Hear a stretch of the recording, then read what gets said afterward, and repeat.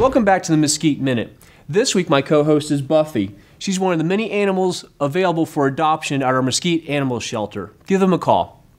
Recently, the city announced the creation of the T25 Task Force to help identify and address properties in our community with the most environmental code issues and criminal activity. For all the details, visit citymesquite.com forward slash T25. In other city news, Mesquite firefighters have completed the first project for the home program. Thanks to the generosity of donors and the hard work of eight off duty Mesquite firefighters, 60 feet of dilapidated fencing was removed and replaced at no cost to the homeowner due to their significant hardship. Go to citymesquite.com forward slash home for the details. Finally, the annual Mother Son Dance will be held Friday, April 8th from 7 to 9 p.m. at the Mesquite Convention Center. For ticket info, call Parks and Recreation at 972 216 6260 or visit citymesquite.com forward slash Mother Son Dance. Thanks for taking a minute out of your day to join me and Buffy, our co host.